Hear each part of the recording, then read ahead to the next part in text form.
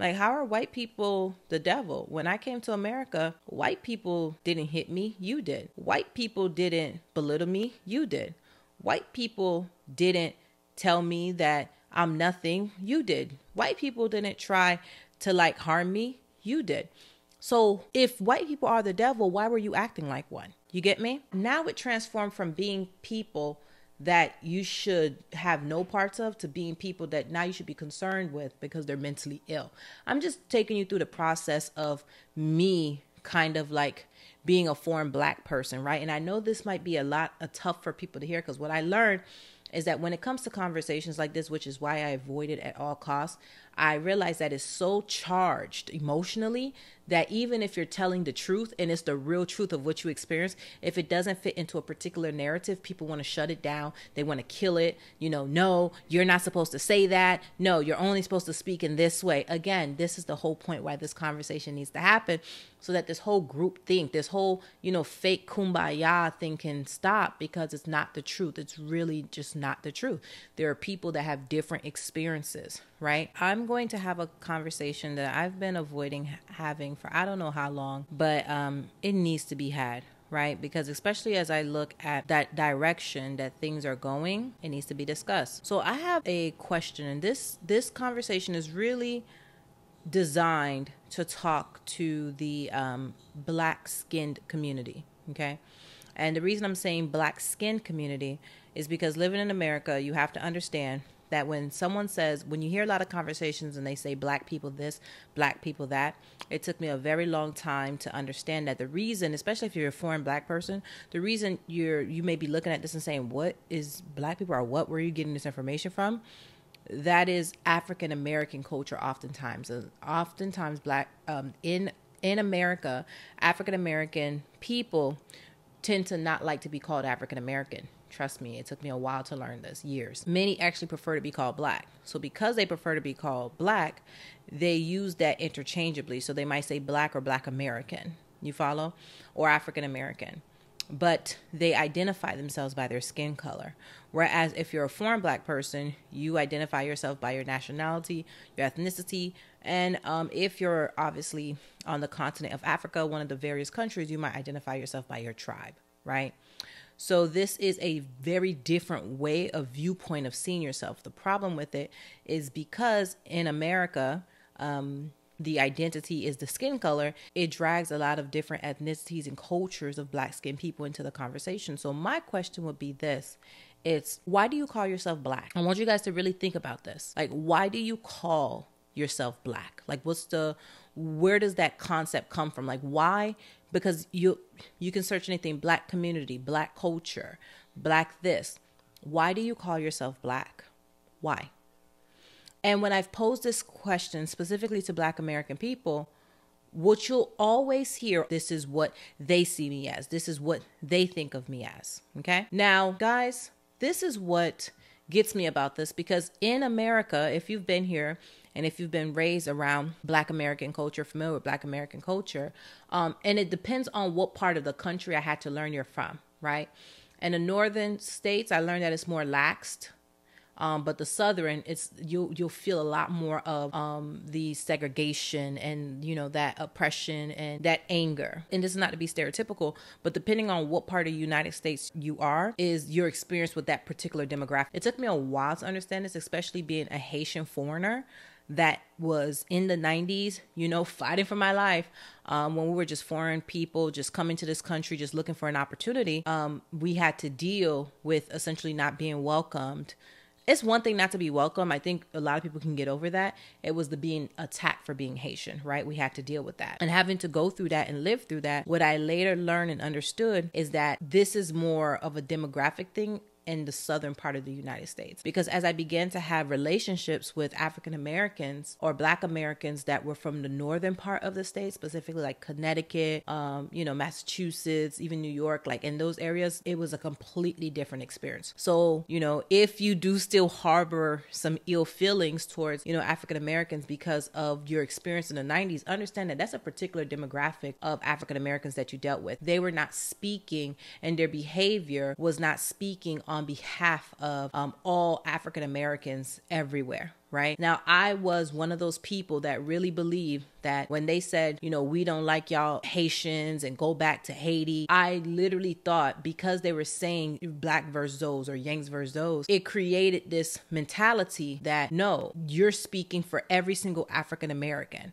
So, what I did and what most people in my culture you know did is that we self-segregated. If you have such a problem with haitians to the point where you're going to assault us physically then we want no parts of you. So outside of environments where i was forced to deal with african americans or black americans uh, mainly school like those type of environments um, I stayed away completely. And most of the people that I grew up with stayed away com- completely, tried to not attend events that, you know, were particularly Black American quote unquote events, like just avoided the culture completely because that experience in the 90s clearly said that you have a problem with Haitians and I'm not interested in commingling with your culture whatsoever. Now, how unfair would that be by the experience of this small few of African Americans um, and their biases to completely say that this is the mentality, this is the thought process of every single African American, you know, in, in America? Like, this is them, right? And there are still Haitians till this day. And it's not just Haitians, there are many foreign black skinned people,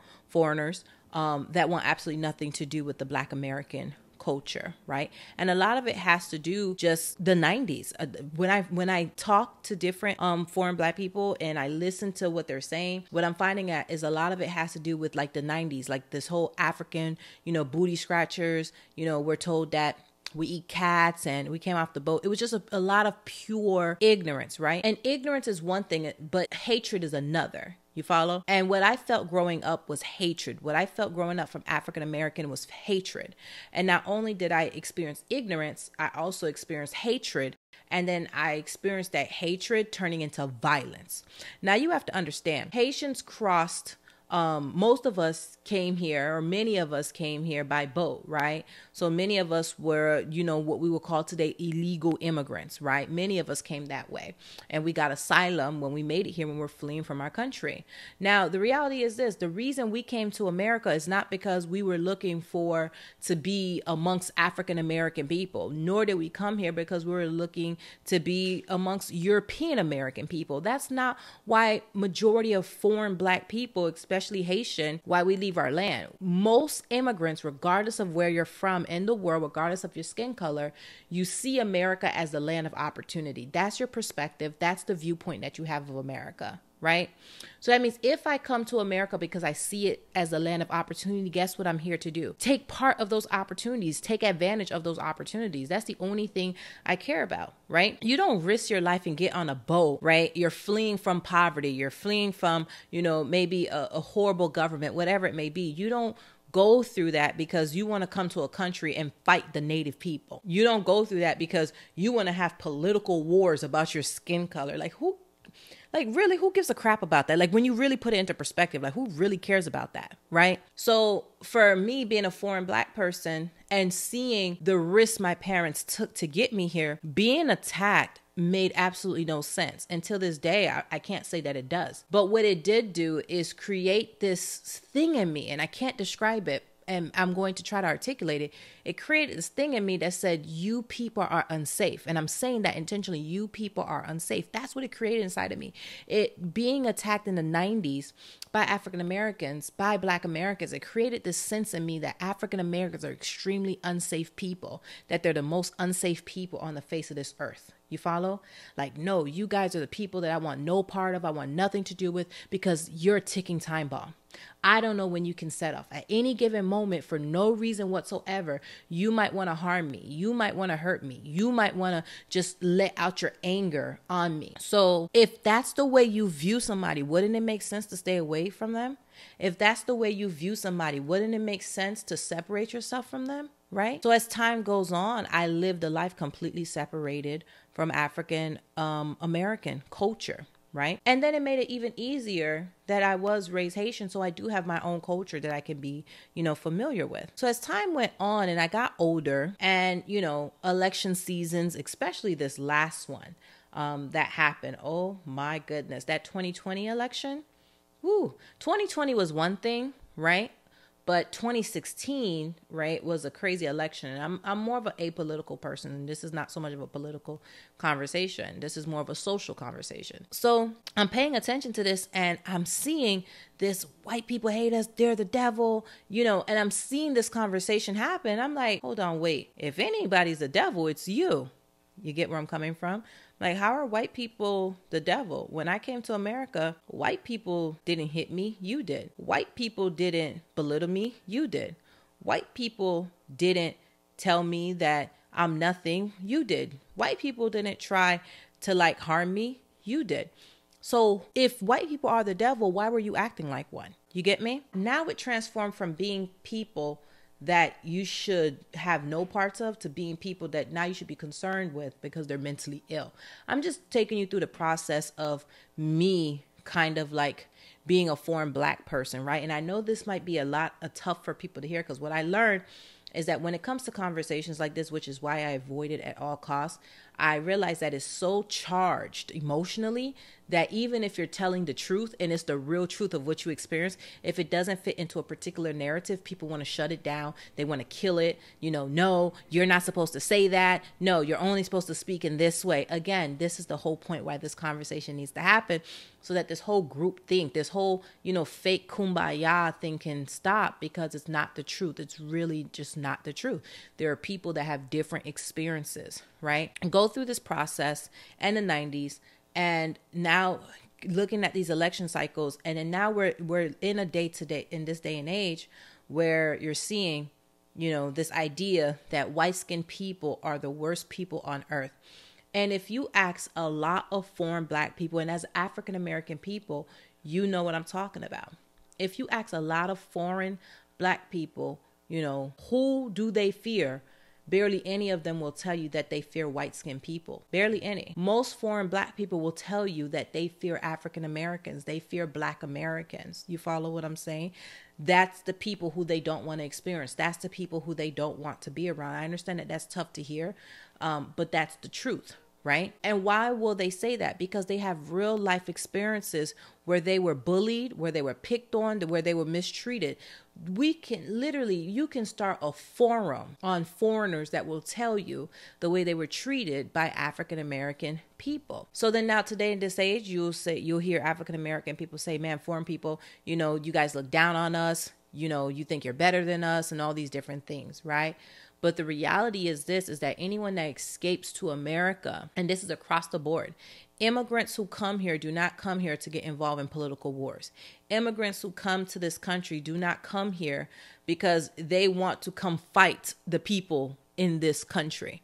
It's not why you come here. You come here with a different mindset. So the reality is is that immigrant people come to this land because they want an opportunity and they feel like this is the land where they're going to get it. But the experience by African American people has made it so tough to be able to do that. So now time goes on, some people assimilated. When that process happened, that 90s war and you'll speak to different Haitian people, it wasn't until like the 2000s, mid 2000, early 2000ish where being Haitian became cool now. This is when, you know, Wyclef and, you know, different people, you know, you had Garcelle Beauvais um, from Jamie Foxx showed, like you just had all these different Haitian figures that were kind of, you know, representing the culture, right?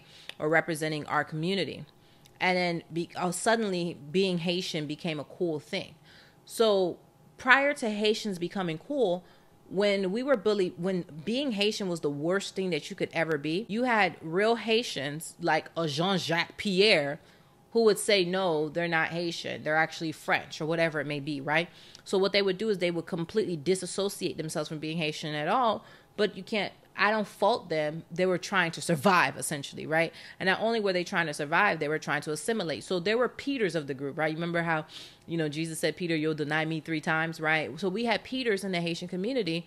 They're like, no, I don't know those Haitian people. Haitian who? Haitian what? Your name is Jean Jacques Pierre. You know, like, what do you mean you're not Haitian? Nope, I don't know what you're talking about. I don't know what you're talking about.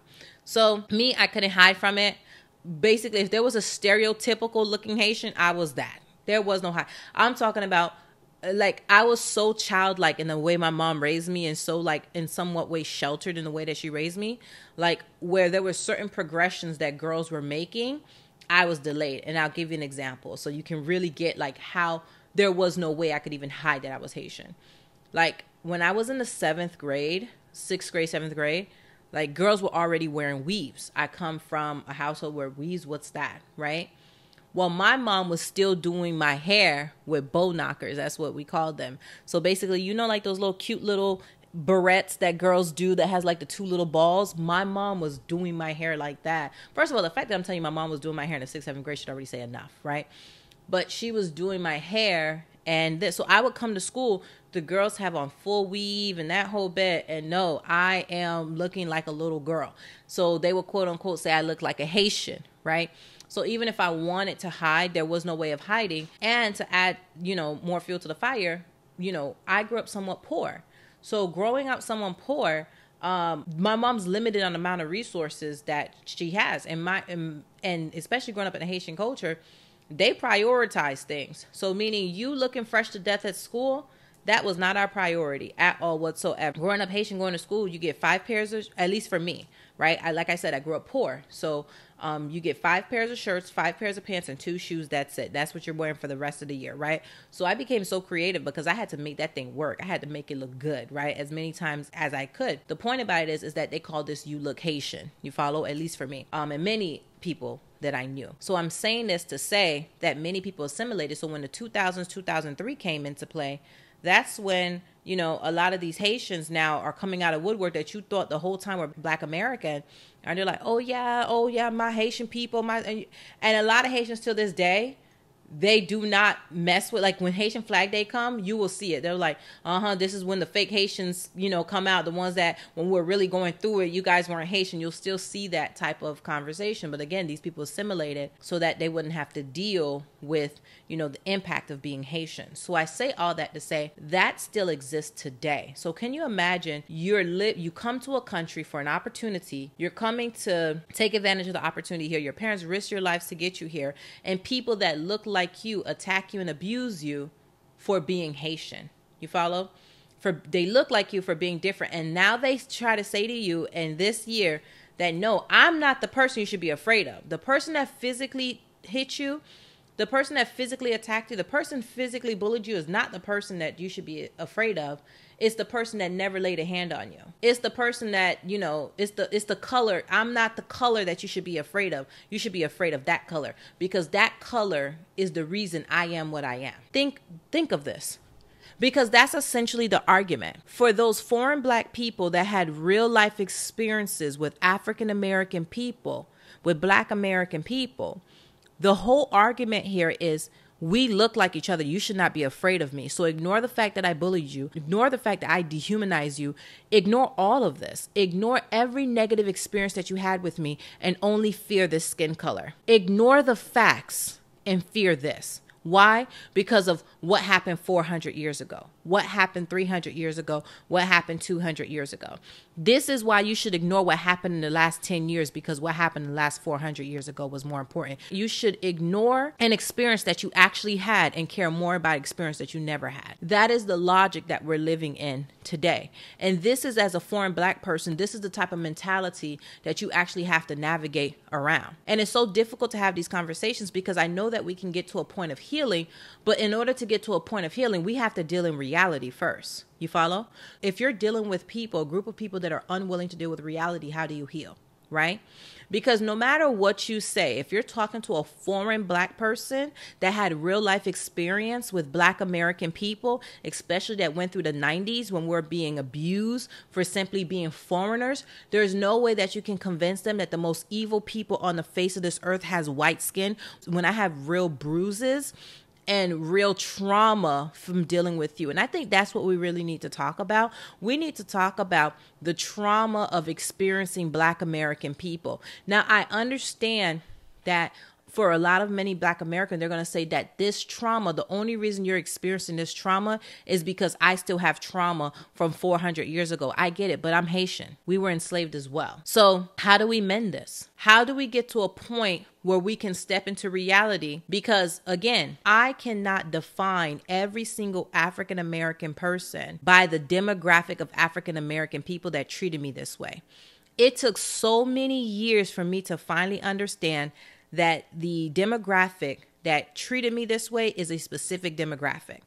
It's a specific type of African American people. It took years to understand this, right? That this was not the collective thoughts. This is not the collective treatment that African Americans across the board gave, right? But I had to be willing to understand that. I had to be willing to see that. I had to be willing to think that that's even possible, right? Well, in the same way, as an African American person, at what point do you get to say to yourself that it was a specific demographic of white skinned people that literally are responsible for racism, that are uh, responsible for creating this environment? Even though we were all impacted by it, a specific demographic of white people are responsible for this. You follow what I'm saying? Now, I understand that is deeper than that. Um, and I understand that it means more than that. But what makes more sense, right? To hold on to experiences that you actually had or to hold on to experiences that somebody else had that they passed on to you? What makes more sense to be more emotional about? Listen to the question again. What makes more sense to be emotional about? Does it make more sense to be more emotional, more more impacted, more affected by experiences that you actually had yourself or to actually be more emotionally impacted by experiences that several generations had before you, but the information and the knowledge has been passed on to you. What makes more sense, right? You would say the former. Of course. What I physically experienced makes more sense to hold on to than what I did not experience. So, for me as a Haitian person, it makes more sense for me to say, man, I actually know African American people in this way. You follow? It makes sense. But it's by the grace of God that I was able to forgive. It's by the grace of God that I was able to forgive. It's by the grace of, because those people are still living today. Those people are still walking this earth today. You follow what I'm saying? Those people are still around. Matter of fact, that culture is still there today. But it's by the grace of God that I was able to forgive and I had to forgive. Because what do they say? They say when you hold on to unforgiveness or when you hold on to resentment, it's as if you are drinking poison, expecting the other person to die. And I think the one big thing that is so difficult, especially in America for African American people, Black American people, is the idea of letting go. I know people say let go of slavery. I'm not saying let it go. the idea of accepting it. I think there's a level of accept I think that there's a level of acceptance that's not here.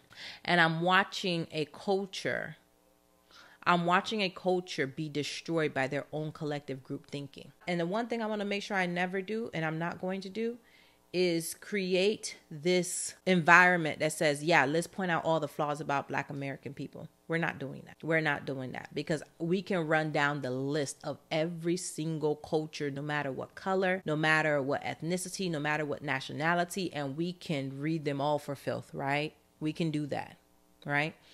But the reality is this the reason I'm addressing the black American culture is because ultimately at the end of the day, your voice is one of the loudest. Problem is this is that you're speaking collectively for black skin in a way that all black skin does not agree. You're bringing forth black skin issues that all black skin people do not agree are issues. You follow? So, what I'm essentially saying is that in the 90s, I was able to be singled out by black Americans so easily, and they were able to say, You're not one of us. You're different from us. And even today in 2023, I can say to you, I don't have a problem with that. I don't have a problem that a black American looks at me and says, You're not one of us. I don't have a problem that a black American looks at me and says, You're different from us. I don't even have a problem that a black American looks at me and says, I don't like you because you're different. I can accept all of that. You follow? I can understand all of that. But what I have an issue with is when that same black American person says, Us black people, we black people, black, black, black, black, black, black. No, because how do you have enough understanding to know that we're different when we arrive as foreigners, but then when you speak about your experience, you classify us and generalize us as all being the same? It's not right, right? So, what I'm saying to you is that it's so important to get to a point of speech where we stop identifying ourselves by our skin color. And I know that sounds crazy. Well, what are you saying? Are you saying that you're not proud to be black? No, that's not what I'm saying at all. I love my skin. I was so being a Haitian person, I was this happened before this whole, you know, black thing even became a trend. I was so comfortable, and I still am. I'm so comfortable in who I am in my blackness that I'm like, man, I just feel like I have to be 100% African, right? Like I just have to be. So I was just curious. This goes back to um what year? I want to say about 10 years ago, about 10 years ago, if not more, I did an ancestry DNA test, which I still have some conversations about that. But I did an ancestry DNA test. You know what I found? I'll tell people every year I add 2% but 94% African, 94% my blood makeup, and it says 6% European. I always tell people that 6% is probably from sniffing the same air, right?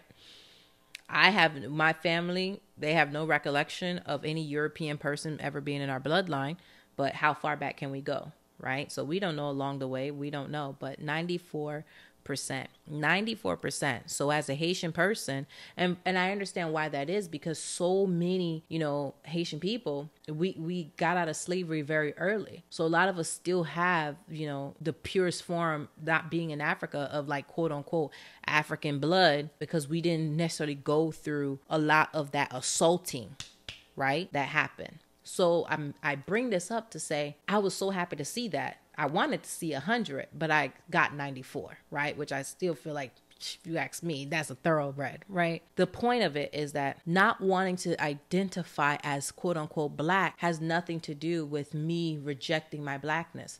If anything, it has me to do with rejecting white supremacy. And what I mean by this is this, and going back to the original question why do you call yourself black? Because if I ask you as a black person who calls themselves black, which you you find this more in America. In America, you find more black people that say I am black, right? But why do you call yourself black? Most of you are going to say because that is how I am seen. Isn't that insane? Let me let me break it down to you. Let me paint a picture to you. What if you were speaking to someone and you said, Why do you call yourself ugly? They said, Well, because the world calls me ugly. What if you were speaking to someone and you say, Why do you call yourself dumb? Because the world called me dumb. That they see me as being dumb. You follow what I'm saying? Your entire identity of blackness in America is based on how you are perceived by the outside. That is insane to me that there is all this fighting, there is all this passion, there's all this vigor for an identity that was given to you. Why do you call yourself black? Why do you associate yourself with your skin color? Outside of the realm of systematic racism and white supremacy, there is no other reason why you as a black person will call yourself black. But yet, and and if that's what you wanted to do, okay then. The problem now is is that now you're now it feels like putting pressure on other black skinned people to do the very same thing. And I'm telling you right now, as a black foreigner, do not do that. Do not begin picking up this idea of identifying yourself by your skin color. For what? For what? Who are you appeasing by doing this? What what are you perpetuating by doing this? By being so obsessed with identifying your skin color you're doing the job of white supremacy for it. By being so obsessed by identifying yourself by your skin color you're doing the job of systematic racism for it skin color has no inherent traits. Skin color has no inherent behaviors. Skin color has no inherent characteristics. Skin color has no inherent behaviors, no inherent, no inherent thought. Skin color has no inherent culture. It's skin. It is skin. Because you say you are black does not mean now I now have an idea stereotypically of what you eat. Because you say you're black does not mean I now have an idea stereotypically of the kind of music that you like. Because you say you are black does not mean that now stereotypically I have an idea of basically the things that you like to enjoy, the type of things, the type of things that you're into, the sports that you're into, the entertainment that you're like saying that you are a black skinned person absolutely gives me no absolutely idea of who you are, the characteristics you have, even knowledge that you may have about certain figures. It says absolutely nothing. It is a skin color. You follow what I'm saying? However, if I say I am Ethiopian, you might now be able to add more specifics and say, oh, okay, well, do you like this? Do you like that? If I say I'm Haitian, you may say, oh, really? Okay, well, are you familiar with griot? Are you familiar with legume?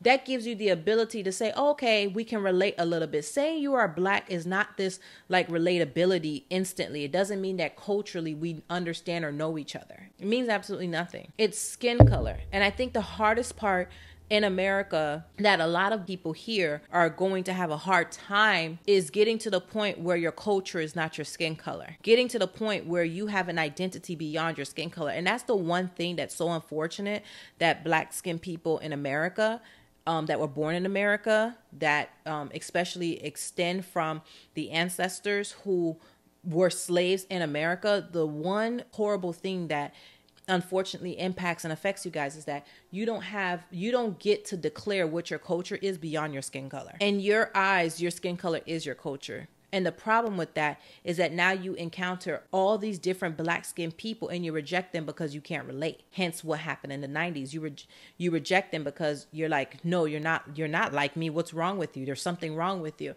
When there's absolutely nothing wrong. We're different. We're not a monolith. But so badly in America, it's very difficult to to believe that we're we're not a monolith we want to be seen as that and we're not. And the hardest thing you're going to have to accept is how different we are and that our skin color is just that is skin color. The only purpose skin color ever served in our history was slavery. There is no other there is no other instance that you can put beyond that that put a high price and a high priority on our skin color. As tough as that is. I know there's all this gods and goddesses talk. I know that there's all this um I know that there's all this divinity talk about our skin color. No, it's skin. It's skin. And somebody was wicked enough and evil enough to basically use it and weaponize it against us. It's no, I could sit here right now and say, thin lips people are the most evil people on the face of this earth. I can start a movement right now where I, I tell society that you need to be afraid of thin lipped people, that every dictator, you know, every person that has ever done an evil crime, the most heinous and most wicked crimes in the world have all been committed by thin lips people. I can create a fear. I could put a fear in the heart of the entire globe by making them fear thin lipped people thin lips people. Beware of the thin lip people. And guess what? That thing may it's going to begin to snowball and trend, but guess what's going to happen with that fear eventually? Someone's going to act on, out on it. Someone's going to see a thin lip person. They're going to be afraid and they're going to say, oh my gosh, there goes those thin lip people. I don't know if they're going to attack me. Let me hurry up and, you know, protect myself. You can weaponize this idea of being a thin lip person. We could start a movement right now and weaponize thin lip people. Be afraid of thin lip people. But you know what happened? Maybe decades will go by, maybe centuries will go by. And eventually there's going to be some intelligent person that says, guys, this is stupid. There is no inherent traits or behaviors or characteristics when it comes to being a thin lipped person. Thin lipped people, on behalf of all the non thin lipped people, you know, we apologize. You know, we're we're removing this whole idea. We're no longer participating in this system of basically ostracizing and defranchising thin lipped people. Imagine. Can you imagine right now if you have thin lips, you're like, man, fillers go through the roof, right? Imagine if being a thin lipped person was literally seen as wickedness, evil. You were associated with every vile thing on the face of this earth. And then eventually, years go by, Generations after generations are born into this culture of thin lipped people being the most evil people on the face of this earth, and then suddenly now that's no longer the case. Here's the thing though after so many years of perpetuating this fear about thin lipped people, even though thin lipped people may no longer be something that people attack people for, not necessarily all the time. It's not the same way. But you know what hasn't necessarily left the stigma. And that's the thing about slavery, I think, that we're combating in today's day and age is that the how can I say this? The consequences of being black in the same way it was in the times of slavery don't necessarily exist the same way. The actual consequence, the brutality, the cruelty, it doesn't exist in that way, but the stigma still does. And the stigma is still powerful enough to create the dynamics we have today. The stigma of being black is still powerful enough to create, you know, scenarios that we did today. So, what do you do when you are dealing with a group of people that are essentially ostracized for something they have absolutely no control over, which is their looks? And there's a stigma that carries them, that follows them for having those looks. There's a stigma that follows them for being different physically, physic, literally being born, being born different. So many things that people are talking about, I'm born this way, I'm born that way. You can hide that. Majority of the things that people talk about, they can hide it. You can't hide being black. You follow? You can't hide it. So can you imagine God, the creator of heaven and earth, creates you, and then now you say, oh my goodness, he created something that we need to fear physically. That is one of the conditions that we're dealing with today in America. And that's one of the things that, you know, you have to resist and push back against, which is, and you're going to feel it more from, honestly, as a black skin person, you're going to feel it more from black skinned people than you are anywhere else which is this you need to identify as being your skin color or else. That's where you're going to feel it the most. You're going to be ostracized, bullied, picked on.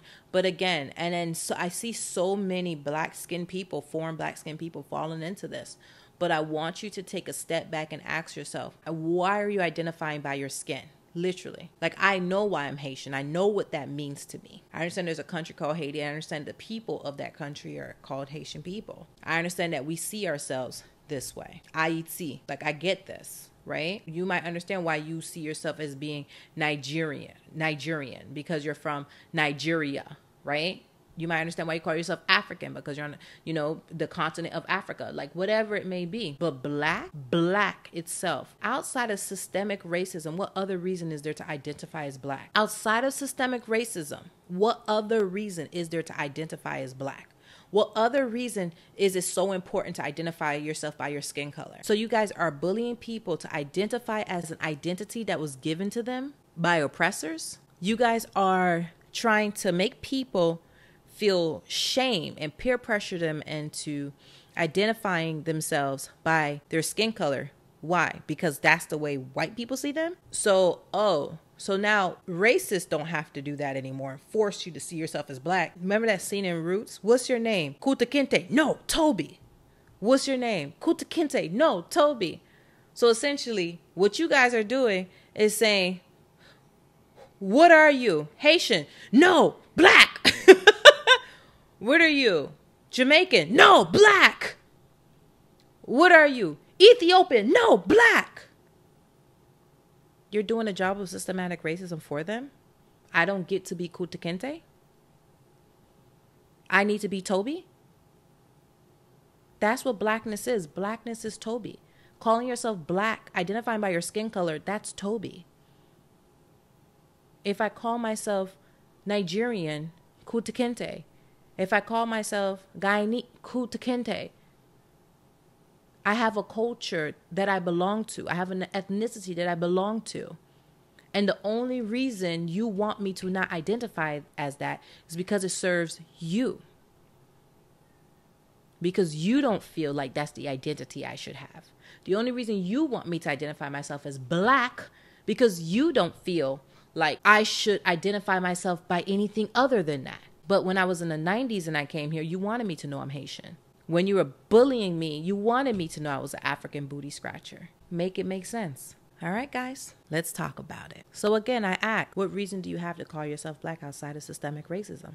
And this is where I'm saying is that we need to make sure that we're not perpetuating those ideas and ideologies. Because I argue that by the sheer idea of forcing people to identify themselves as black, that within itself is a perpetuating of systemic racism. And it is time for more black people to feel the courage to identify themselves as what really has value to them, such as your culture, your morals, your values, your beliefs.